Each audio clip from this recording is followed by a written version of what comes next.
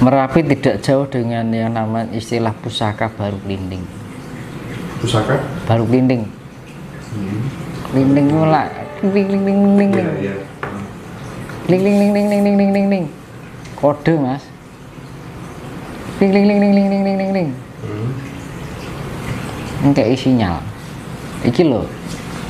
Biar aku harap gak goro-goro.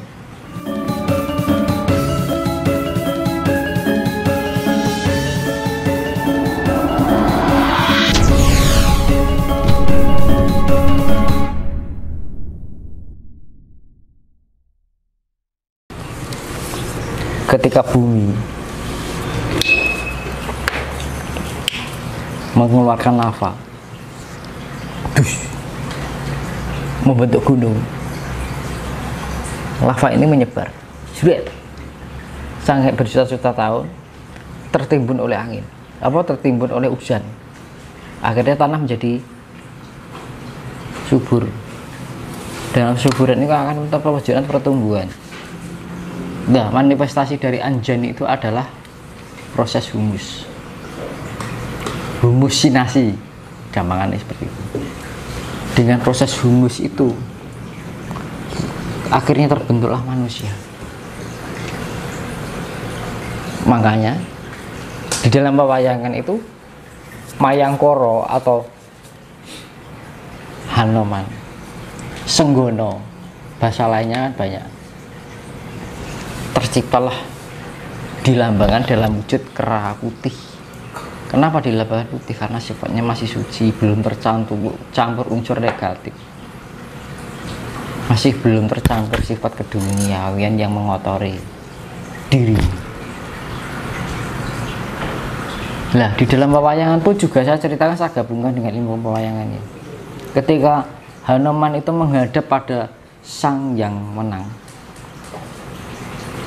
dia bertanya Hanoman itu saya sudah hidup berjuta-juta tahun berabad-abad. Kapan saya menemui pamung pamungkasing hidup saya dalam akhir hidup saya? Hanoman bilang begitu pada sang yang mana?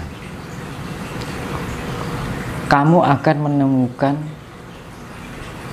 akan menjadi sebuah tanda akhir dari hidupmu adalah kelak nanti kamu akan menemukan Pandaya, Pandawa yang keenam. Pandawa yang keenam. Pandawa lima itu kan ya Puntadewa atau Puntadewa, Bima, Arjuna, Nakulan, dan Sadewa itu Pandawa lima.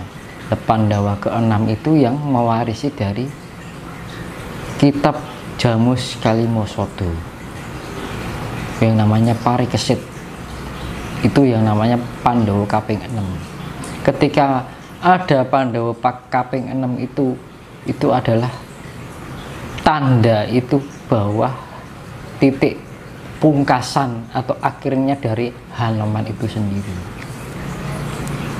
Itu jelmaan dari Siwa. Kenapa di, dikatakan jelmaan dari Siwa? Yang selalu mendampingi Awatara Wisnu ini saya ceritakan masalah Awatara Wisnu ya. Hmm. Jadi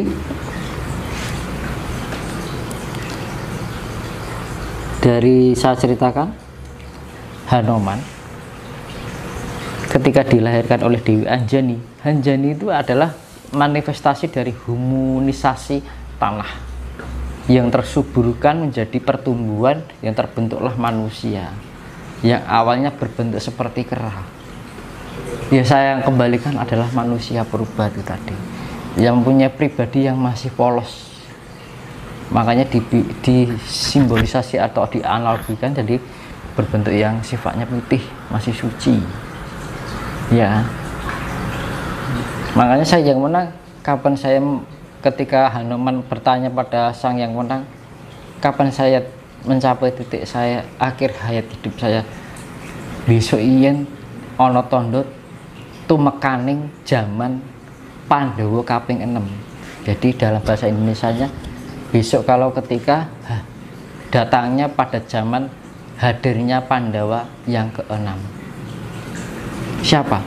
Itu yang namanya parikesit. Tuh. itu memberikan filosofi adalah ketika terjadinya terciptanya manusia purba dari hingga sekarang terbentuknya manusia yang peradaban manusia yang terakhir makanya dibilang zaman sekarang sudah terjadi banyak terjadinya tanda-tanda akhir zaman. Iya, karena gini loh. Saya menyimpulkan dari pelajaran wayang dari pelajaran ilmiah dari pelajaran secara psikologis geologis tak ada titik siji mempunyai titik temu yang sama karena aku nggak mau aku ketika mempelajari ini ini ini tapi kok nggak ada penemuannya berarti nggak logis ini diarani ilmu Jawa ilmu kasunyatan Oke. Iya. nah Mas, tanya sedikit ya. Sebelum dilanjutkan. Barusan tadi lima jam yang lalu itu Mas, eh, Merapi itu muntah lagi dan lebih parah gitu kan. Pertanyaan saya yang pertama, keyakinan yang paling dalam dari Mas Tinus, Merapi itu akan menyusul Semeru apa enggak? Itu satu. Yang kedua, karena Merapi sekarang sering muntah akhir-akhir ini setelah Semeru meletus kemarin Pesan apa yang Mas Yunus ingin sampaikan kepada penduduk sekitar? Merapi tidak jauh dengan yang namanya istilah pusaka baru linding. Pusaka? Baru Linding Hmm. Linding mula. Linding, kling kling kling kling. Ya, ya. ling ling ling ling ling ling ling.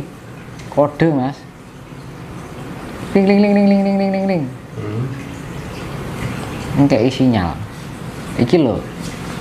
Gear aku arep nggih goro-goro. Padha ndang siapa? Ning kowe kudu ngerti yo. Pada mengerti ya. Mengertilah. Aku membuat sesuatu untuk penyempurnaan alam ini biar bi- bisa kembali pada sebuah keselarasan. Eh, terkait dengan lonceng Merapi itu yang tadi apa namanya hari ini lima jam yang lalu eh, mengeluarkan apa tuh namanya awan panas lagi muntah lagi. Dan itu gimana? Pesan Mas Tinus akan menyusul Semeru ataukah jika kemudian iya apa ya pesan yang ingin disampaikan kepada warga sekitar? Dan kalau sebelumnya itu kan Merapi itu kan tidak berkaitan tidak jauh berkaitan dengan baru linting. Linting itu kan kode yang sifatnya masih kecil. Linting linting linting. Oh, iya. Semeru itu adalah seruannya yang lebih keras. Ketika Merapi itu memberikan kode pengerasnya adalah Mera- Semeru. Semar. Nah, Semeru itu akan berempet pada Rinjani, Niteni. Nah, makanya kan Rinjani itu dikait-kaitkan dengan Dewi Anjani. Eling ta menungso marang alammu. Kuwi kudu ngerti marang alammu. Kuwi asal saka alammu, bali yo marang alammu was las aseo marang alammu maka maka dari itu selamatkanlah selamatkanlah diri dari kasihmu dengan alammu kuncinya itu mas. Sopo bae sing siapa saja yang tidak mau mendekatkan diri dengan alamnya itu sendiri kita menyelaraskan diri merefleksikan diri kita pada refleksi alam dalam sebuah kesempurnaan yang disebut keselarasan itu sendiri yang terjadi adalah karuna belas kasih Tuhan yang tidak bahagia. Di dalam Hindu yang namanya karuna. Belas kasih Tuhan yang tidak bahagia. Masih menjadi belas kasih Tuhan namun tidak bahagia. Ya kita merasa prihatin dengan keadaan seperti itu. Prihatinnya kenapa?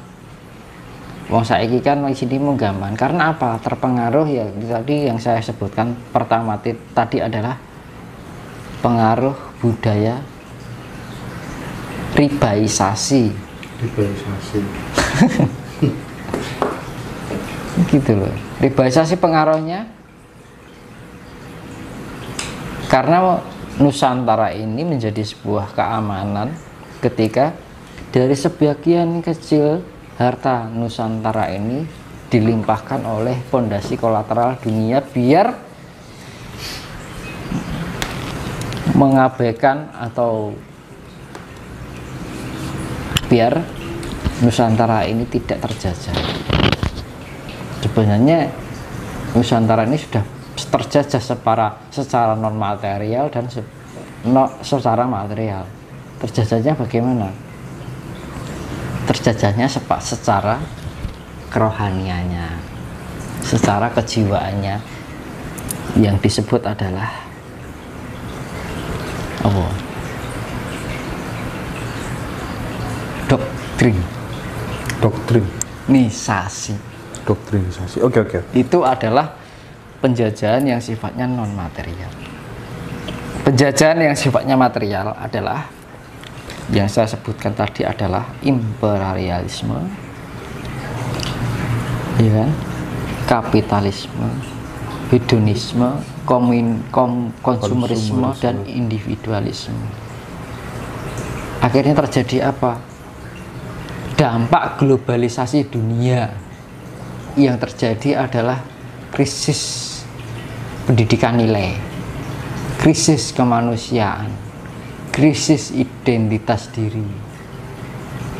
Dalam arti krisis identitas diri, sampai orang aja tidak bisa memahami diri sendiri. Karena apa? Terbelenggu adalah yang membelenggu dirinya adalah kenikmatan-kenikmatan dunia yang se- serba menyamankan hidupnya di dalam sifat keduniawian. Bisa duwe mobil, bisa mempunyai rumah, bisa memiliki kekayaan, membuat rasa nyaman-nyaman secara keduniawian ya sur- surga dunia lah dibilang. iya iya. Akhirnya dia terlalaikan bagaimana dia mendapatkan yang namanya nilai surga yang sebenarnya. Di atas bumi seperti di dalam surga. Di dalam pawayangan yang disebutkan adalah Semar bangun kayangan. Hmm. Lah, kenapa dibilang Semar bangun kayangan bukan berarti Semar yang ada di bumi ini membangun menciptakan bumi ini bagaikan di uh, selay, uh, kayak kayak di surga tapi menciptakan kehidupan yang berjalan di kehidupan di bumi ini seperti selayaknya di surga. Di surga apa? Kriteria surga itu kita saling mengasihi kuncinya kan satu adalah yang saya perjelaskan dari video-video sebelumnya adalah kasih sayang kuncinya kasih sayang adalah kita menemukan kedamaian ketika kita kedamaian lebih dalam lebih menjadi awal lagi adalah ketenangan. Karena ketenangan ada kesestabilan makanya kuncinya apa kuni meditasi. Makanya saya kembalikan pada video-video sebelumnya. Belajarlah tentang meditasi. Berarti warga sekitar Merapi pesan konkretnya Mas Tinus apa? ya itu tadi eling lan waspada bejane sak beja bejan bejone wong lali isih bejo wong kang eling lan waspada seberuntung beruntungnya orang yang lupa masih beruntung orang yang eling. Dikatakan eling apa? Eling dengan ucapan kita. Eling dengan pikiran kita. Eling dengan rasa kita. Eling dengan perilaku kita. Kira-kira segala apa yang kita ra- ucapkan ras pikirkan rasakan dan lakukan kira-kira merugikan orang lain atau tidak. Itu ya nama kategori eling awas waspada lebih di dipekatkan ka- lagi adalah awas. Kita harus meningkatkan intuisi kita dan kepekaan kita harus bisa memahami kehendak alam. Jangan menyepelekan ya Mas ya kalau ada peringatan-peringatan Nah, apa-apa ya. Zaman sekarang kan kalau ada ada namanya gejolak alam malah disote Oh iya iya. iya. diviralkan Selfie. bikin- tapi bukan tidak dijadikan sebuah pemahaman bahwa oh Gusti Allah ki ngelingke aku ngelingke wong kabeh ben supaya biar supaya lebih mengerti kembali tentang amanat-amanat yang harus kita al- jalani yaitu keinginan semesta itu sendiri jangan membuat alam itu menjadi gatal Oke.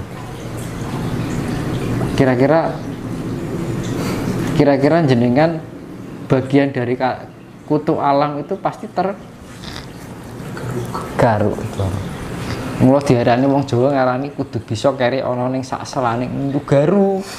Alam iki ben ora gatel ngono lho. Iya, iya, iya. Ben ora gat jenengan katut gatel. Oke oke oke. Sela-sela itu ya Mas ya. itu loh maksudnya. Karena ini masuk di sela-sela garu Nah. ya. Paham, Pak.